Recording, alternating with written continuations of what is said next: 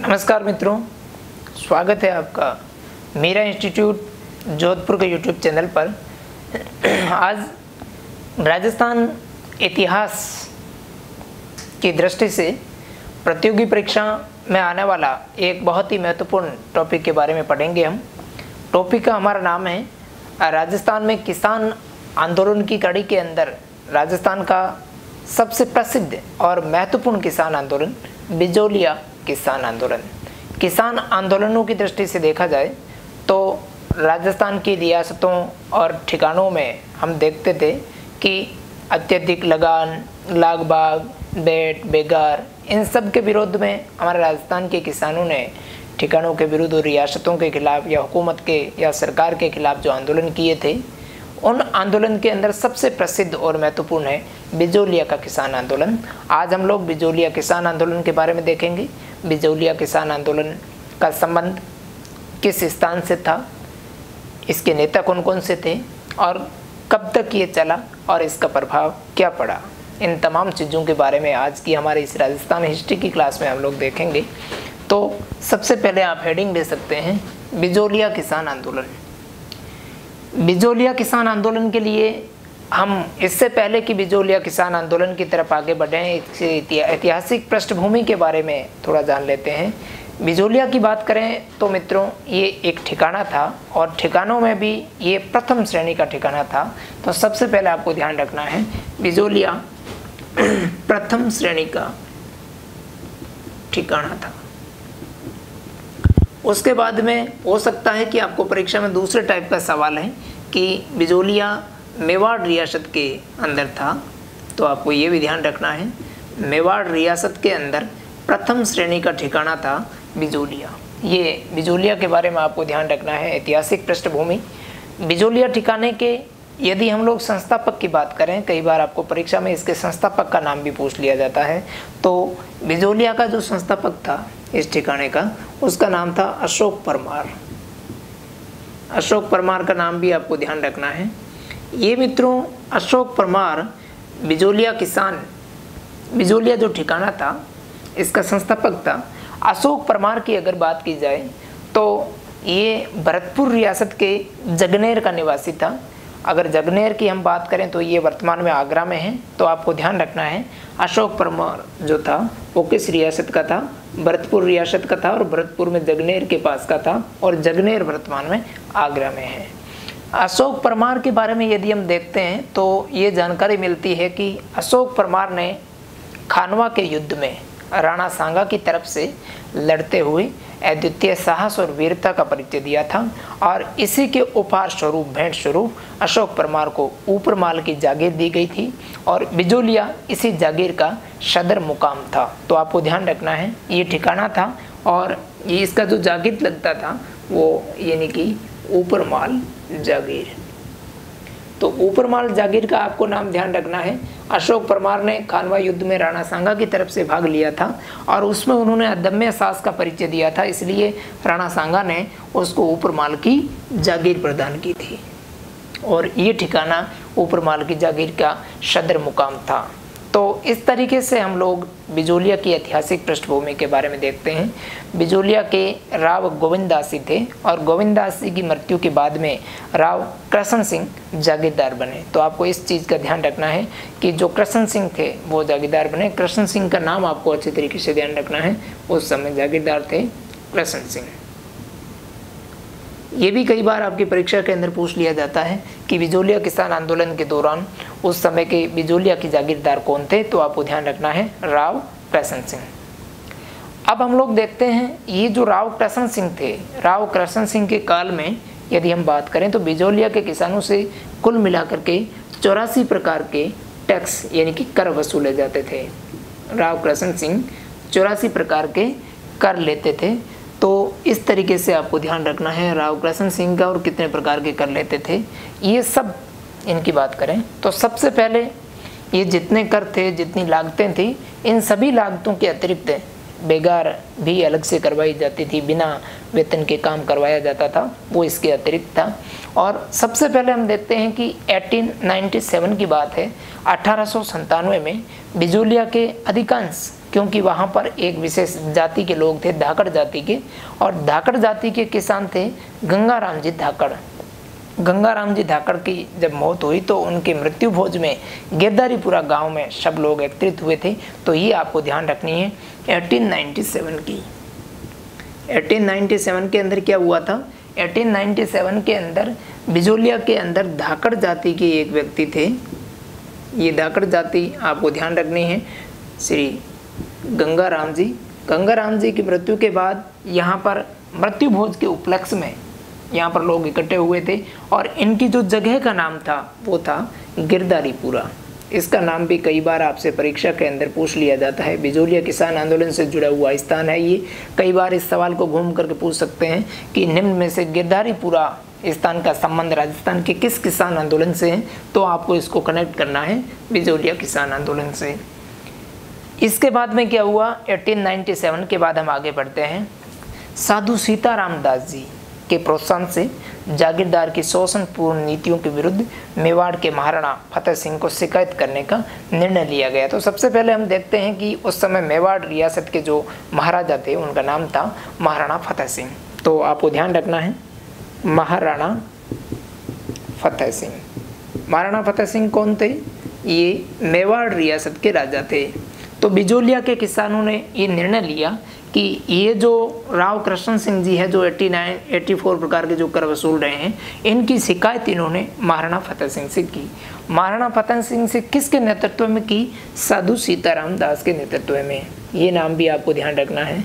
साधु सीताराम दास। इनके नेतृत्व में महाराणा फतेह सिंह जी से इनकी शिकायत की गई और इस शिकायत के बाद में हम देखते हैं किसानों में और भी कई नाम मिलते हैं। इनकी किसानों ने अपना एक प्रतिनिधि प्रतिनिधि मंडल जिसमें दो सदस्य थे, उन दोनों सदस्यों के नाम, यानी कि बेरी साल के निवासी थे नानक जी पटेल और गोपाल निवास के ठाकरी पटेल। उनको नियुक्त किया और नियुक्त करके मेवाड़ के महाराणा के पास में भेजा। तो आपको प्रतिनिधि मंडल के अंदर शामिल होने वाले दो किसानों के नाम ध्यान रखना है नानक जी पटेल और ठाकरी पटेल। ये दो नाम आपको ध्यान रखना है नानक जी पटेल और ठाकरी पटेल। इन दोनों किसानों के नेतृत्व के अंदर दो सदस्यों का एक प्रतिनिधि मंडल महाराणा फतेह सिंह के पास में भेजा गया शिकायत करने के लिए। ये नानक जी पटेल और ठाकरी पटेल को ध्यान रखना है, क्योंकि परीक्षा के अंदर कई बार सवाल पूछा जाता है कि निम्न में से राजस्थान के किस किसान आंदोलन का संबंध नानक जी पटेल और ठाकरी पटेल से है? या नानक जी पटेल और ठाकरी पटेल का संबंध राजस्थान के कौन से किसान आंदोलन से है? इस चीज़ के बारे में ध्यान रखना है। उसके पश्चात जब ये लोग महाराणा फतेह सिंह के फतेह सिंह जी के पास में पहुँचते हैं, पहुँचने के पश्चात महाराणा मेवाड़ ने जाँच के लिए राजस्व अधिकारी की नियुक्ति की थी, लेकिन इसका कोई सार्थक परिणाम नहीं निकला था। उसके बाद में जैसे ही हम देखते हैं, जब प्रतिनिधिमंडल वहाँ गया और मेवाड़ के महाराणा के द्वारा जब राजस्व अधिकारी की जाँच की नियुक्ति भी की गई, लेकिन इससे भी किसानों को फ़ायदा नहीं हुआ तो राव कृष्ण सिंह जी ने प्रतिनिधि मंडल के जो दोनों सदस्य थे नानक जी पटेल और ठाकरी पटेल, उनको बिजालिया, जो बिजोलिया ठिकाना था, उसे निष्कासित कर दिया और हरजाना देने पर भी निष्कासन रद्द कर दिया गया। तो इस तरीके से रावकृष्ण सिंह जी ने जब ये वापस लौटे तो इन दोनों को बिजोलिया ठिकाने से निष्कासित कर दिया गया था।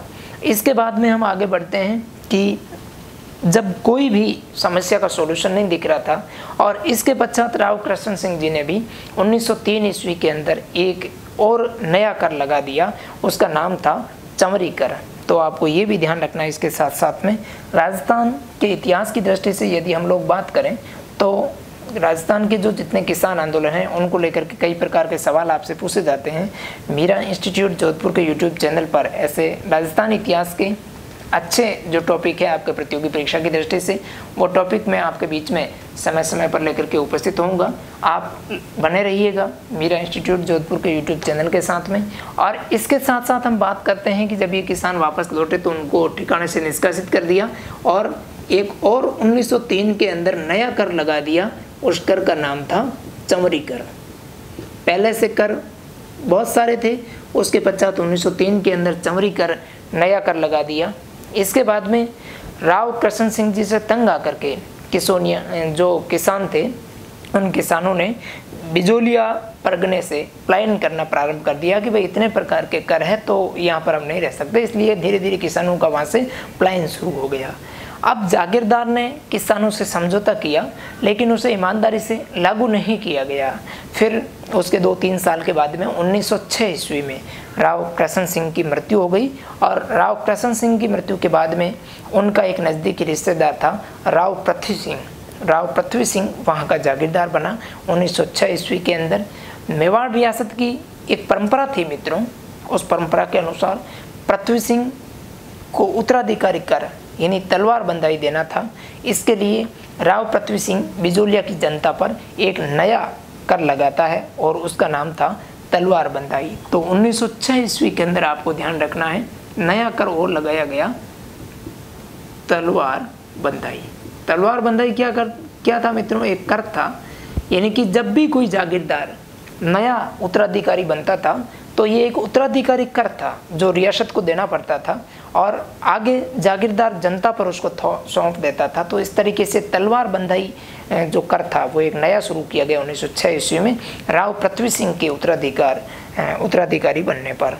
इसके बाद में हम देखते हैं तो 1913 ईस्वी के अंदर एक नया मोड़ आता है इस किसान आंदोलन के अंदर 1913 ईस्वी के अंदर। 1913 ईस्वी में इससे पहले हम साधु सीताराम दास जी के बारे में देख चुके हैं।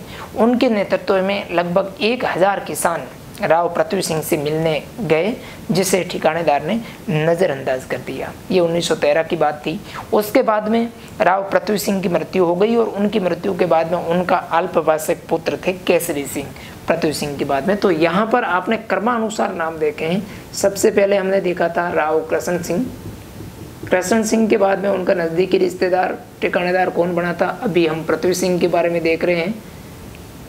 पृथ्वी सिंह की मृत्यु के बाद में नया ठेकेदार कौन बना था, ठिकानेदार था, वो पृथ्वी सिंह का अल्पवैश्विक पुत्र था और अल्पवैश्विक जो पुत्र था, उसका नाम था, पृथ्वी सिंह की मृत्यु हुई, उसके बाद में केसरी सिंह बना। राव, केसरी सिंह। तो इस तरीके से केसरी सिंह उत्तराधिकारी बना और यह अल्पवयस्क होने के कारण जागीर का कंट्रोल या नियंत्रण मेवाड़ राज्य के अंतर्गत आ गया, क्योंकि वो अल्पवयस्क था। फिर हम बात करते हैं 1913 के बाद में 1914 की। 1914 के अंदर मेवाड़ रियासत के किसानों को कुछ छूट प्रदान की गई, क्योंकि फिर वो रियासत के सीधा नियंत्रण में आ गया था। उसके बाद में बिजोलिया किसान आंदोलन के अगले घटनाक्रम के बारे में देखते हैं। परीक्षा के अंदर इनसे जुड़े हुए तमाम प्रकार के सवाल आपको किसी भी एंगल से पूछे जा सकते हैं। बिजोलिया किसान आंदोलन में 1916 ईस्वी में विजय सिंह पथिक ने प्रवेश किया। तो आपको ध्यान रखना है 1916 ईस्वी के अंदर यहाँ पर किसका प्रवेश होता है? विजय सिंह पथिक का। बहुत महत्वपूर्ण नाम है बिजोलिया किसान आंदोलन में। विजय सिंह पथिक 1916 में शामिल हुए विजय सिंह पथिक का यदि हम बात करें तो इनका जो वास्तविक नाम था, वो भूप सिंह था। कई बार परीक्षा के अंदर ये भी पूछ लिया जाता है कि विजय सिंह पथिक का वास्तविक नाम क्या था? इनका वास्तविक नाम भूप सिंह था और वो उत्तर प्रदेश के रहने वाले थे। उत्तर प्रदेश के बुलंद शहर में रहने वाले थे। इनके कई बार ये जगह भी पूछ ली जाती है। बुलंद शहर यूपी। तो आपको विजय सिंह पथिक के बारे में दो बातें ध्यान रखनी है। 1916 में इन्होंने बिजोलिया किसान आंदोलन में प्रवेश किया। इनका वास्तविक नाम भूप सिंह था और ये बुलंदशहर, उत्तर प्रदेश के रहने वाले थे।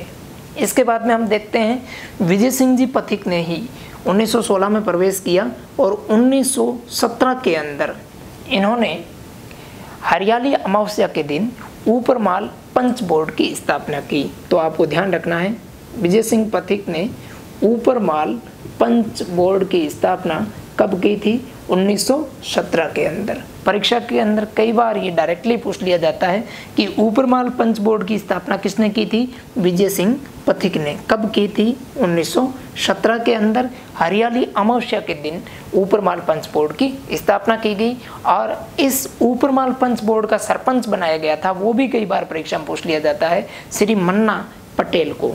तो इनके साथ साथ आपको यहाँ पर जिन, जिनको सरपंच बनाया गया था, श्री मन्ना पटेल। श्री मन्ना पटेल का नाम भी ध्यान रखना है कि मन्ना पटेल का संबंध राजस्थान के किस किसान आंदोलन से है? बिजोलिया किसान आंदोलन से। अब देखिएगा कि बिजोलिया के किसानों से जब प्रथम विश्व युद्ध का चंदा वसूला जाने लगा तो किसान इससे ज़्यादा और भड़क गए, क्योंकि इससे पहले भी बहुत सारे कर लगे हुए थे। इसके साथ साथ में हम यदि बिजोलिया किसान आंदोलन की बात करें तो विजय सिंह पथिक, साधु सीताराम दास, मन्ना पटेल, नानक जी वगैरह सब चीज़ें हम देखते आए हैं। उसके बाद में बहुत से और कई महत्वपूर्ण नेता थे जिनका संबंध बिजोलिया किसान आंदोलन से था, जैसे माणिक्य लाल वर्मा, राम नारायण चौधरी इत्यादि नेता भी बिजोलिया किसान आंदोलन में सम्मिलित हो गए थे और धीरे धीरे आंदोलन का जो स्वरूप था, वो बहुत ही विस्तृत हो गया। और शासक और किसानों में विरोध और दमन का दौर प्रारंभ हो गया था। तो आपको दो नेताओं के नाम ध्यान रखने हैं, इनके साथ में और जुड़ गए थे। एक तो थे माणिक्य वर्मा।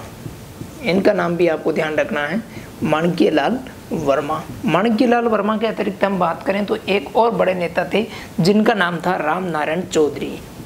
कई बार परीक्षा में आता है राम नारायण चौधरी मणकीलाल वर्मा, साधु सीताराम दास और मन्ना पटेल, इन विजय सिंह जी पथिक इनका संबंध राजस्थान के किस किसान आंदोलन से था?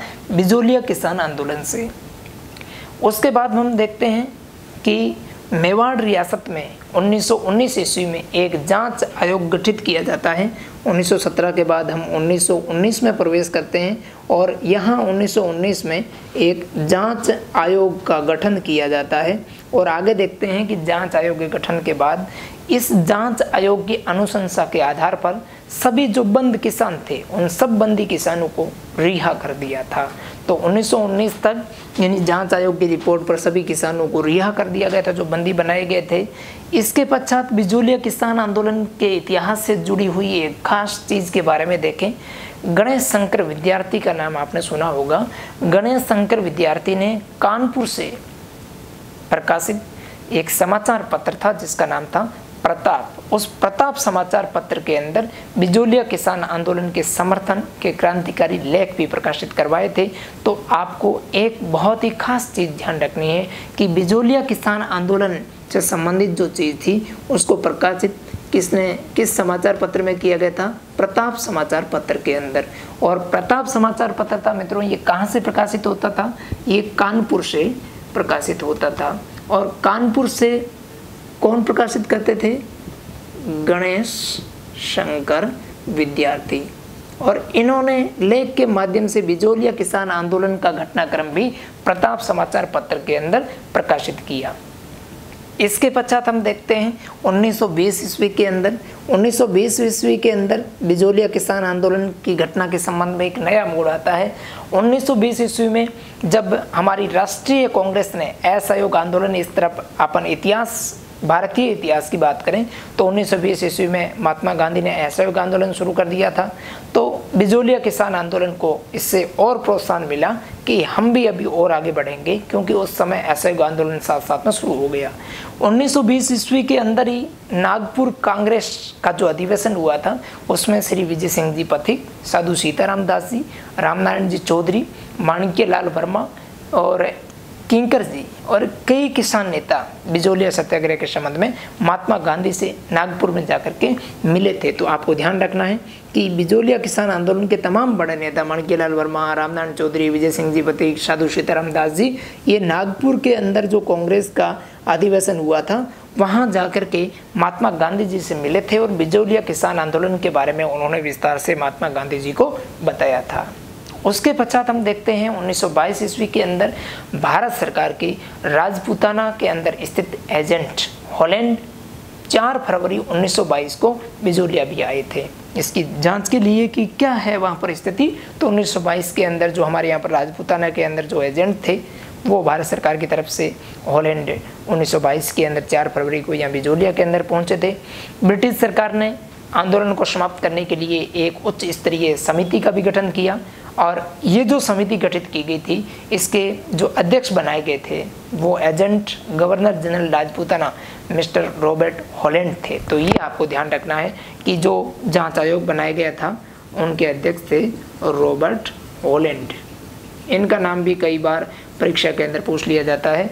तो इस तरीके से आपको ध्यान रखना है कि इसके जो अध्यक्ष वो रॉबर्ट हॉलैंड थे और इस समिति के द्वारा ठिकानेदार और किसानों में समझौता करवाया गया जिसे जून 1922 ईस्वी में लागू कर दिया गया। उसके पश्चात हम देखते हैं 1927 ईस्वी से बिजोलिया किसान आंदोलन के मुख्य नेता माणिक्य लाल वर्मा बन जाते हैं। फिर इसकी जो नेतृत्व है, वो माणिक्य लाल वर्मा के हाथ में आ जाती है 1927 के अंदर।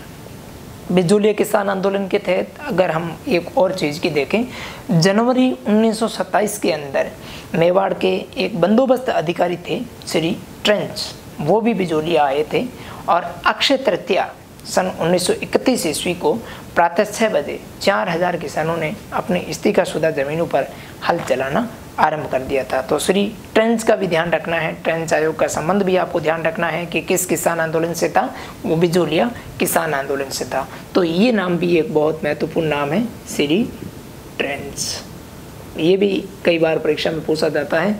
इसके बाद में हम देखते हैं राजस्थान सेवा संघ के द्वारा प्रकाशित एक न्यूज़पेपर था, राजस्थान केसरी और नवीन राजस्थान। इन समाचार पत्रों में भी बिजोलिया किसान आंदोलन के समर्थ में क्रांतिकारी लेख भी छापे गए थे। ये उस समय महत्वपूर्ण समाचार पत्र थे, राजस्थान केसरी और नवीन राजस्थान। इन दोनों समाचार पत्रों में ये राजस्थान सेवा संघ के द्वारा प्रकाशित थे और इन समाचार पत्रों के अंदर बिजोलिया किसान आंदोलन से संबंधित कई क्रांतिकारी लेख भी छापे गए। तो इस तरीके से हम लोग देखते हैं कि बिजोलिया किसान आंदोलन 1931 तक कौन कौन से समाचार पत्रों ने यहाँ पर अपने यहाँ पर लेख छापे और इनसे जुड़े हुए महत्वपूर्ण नेता कौन कौन से थे? किस वर्ष में कौन कौन सी महत्वपूर्ण घटनाक्रम इसमें घटित हुई? कौन कौन से जाँच आयोग की नियुक्ति बिजोलिया किसान आंदोलन के दौरान की गई थी? इस तरीके की चीज़ें आपकी परीक्षा की दृष्टि से हम लोग पढ़ते हुए देख रहे हैं। इसके बाद में हम देखते हैं सितंबर 1923 की भी बात करते हैं तो विजय सिंह पथिक को गिरफ़्तार कर गया था और उन्हें भी सजा दे दी गई थी।